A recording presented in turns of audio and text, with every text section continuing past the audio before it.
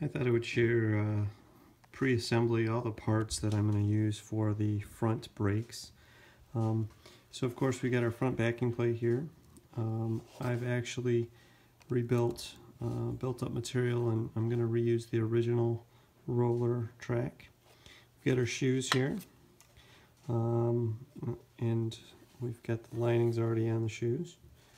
Um, here is our brake pin with the felt uh, don't forget the felt. So the felt actually goes up underneath um, uh, the kingpin and uh, protects and keeps stuff from getting in um, down here where the wedge goes.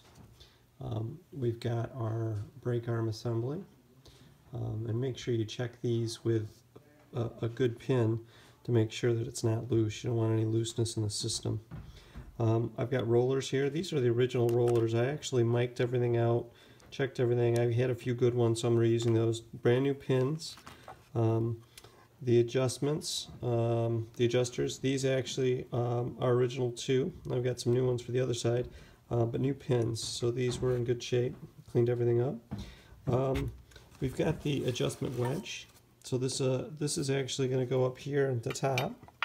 And as you notice, it's just threaded all the way, so never try to pound it out. Um, and when that goes in, we're going to put a good amount of grease on there probably a little anti-seize in the back to keep it uh, free when we can adjust it and then a good amount of grease before we put uh, the dust cap on here. So this is the original dust cap and we'll put that on when we're done.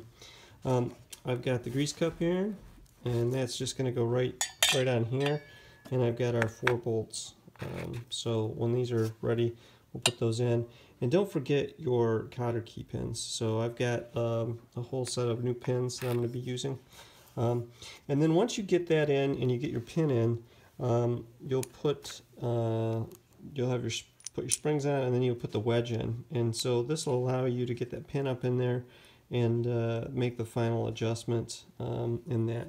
So this is just an overview of the parts and uh, hopefully I'll be able to show you some pre-assembly and assembled uh, on the vehicle. Thanks.